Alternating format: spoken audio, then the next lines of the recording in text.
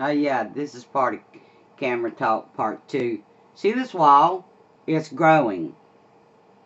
It is. It's it's bigger than it's ever been.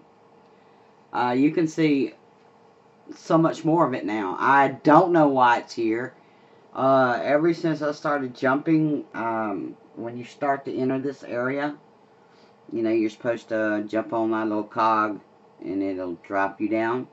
Well, I use my R3L3 and uh, try to tether, I guess it's tether. Well, I hit R1 and it, most of the time, not all the time, it hits the green light up here and it shoots you through to the next area and you skip this altogether. Well, it doesn't do it for me every single time. So when I don't make it, this is what I have. This wall. Y'all, it's growing.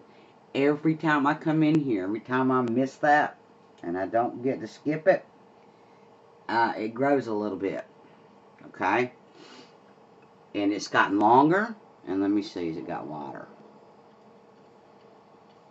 Not really haven't got any water, but it's gotten longer. And it'll go away when you get to a certain point, but it's see how it's in your way? But it's not when I get ready to climb up there. But that's a pain in your behind right there. And it shouldn't be there. I don't know if anyone else has that, but I do. And I don't like it, and I don't know how to get rid of it. The only way that I don't have that wall is if I come in normally. Then it, it's not there. But, you know, when you're speed running, nothing's normal. So, there's nothing you can do about it. Just try to go around it, I guess. That's what I do. And, uh, just, I left that out, and I'm going to tell you about it. It's called The Growing Wall. we'll catch you in a few.